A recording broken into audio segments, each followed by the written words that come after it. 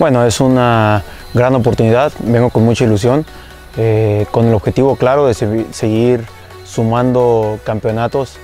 a la historia de este club, un club que en poco tiempo ha hecho eh, mucha historia, ha conseguido grandes triunfos, entonces vengo aquí con la ilusión, la mentalidad de sumar y de ayudar al equipo a cumplir cada uno de los objetivos, obviamente siendo el objetivo principal el campeonato de la liga. Bueno, lo que se ve desde afuera es que es una institución muy seria, una institución ganadora, una institución que se preocupa también por el desarrollo de,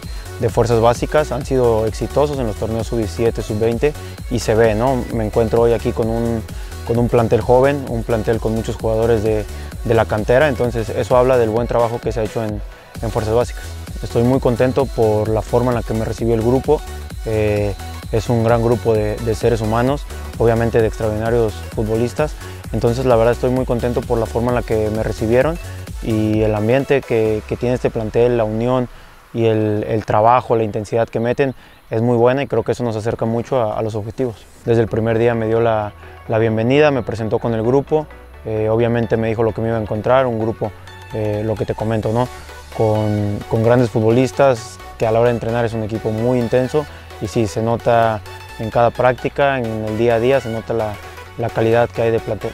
Bueno, desde luego eh, al equipo, a mis compañeros les voy a, les voy a aportar trabajo diario, dar el 100% de mí en cada entrenamiento, en cada partido eh, y dentro de la cancha ese liderazgo, eh, entrega, atrevimiento en el mano a mano y sobre todo esa seguridad que, que se requiere en el arco. Sí, desde luego que en cada lugar, en cada ámbito de la vida, mientras haya una competencia, en este caso deportiva, y sea sana, es lo mejor para todos, es lo mejor para, para nosotros como arqueros, lo mejor para el equipo y es lo que nos va a ayudar a crecer a cada uno de nosotros. Sí, de hecho he tenido la, fortuna de haber trabajado con él antes, coincidimos por ahí un poco también en el tema de, selección, lo conozco, conozco su forma de trabajar y bueno, contento de que tenga ahora la oportunidad de trabajar con él. Agradecerle los mensajes que, me han enviado, eh, la forma en la que me han recibido. Eh, lo que les digo, vengo aquí a, sumar, a darle alegría a la afición, a dar mi máximo esfuerzo para conseguir un campeonato para la afición, porque es una afición eh, noble, es una afición fiel que se merece, se merece esas alegrías.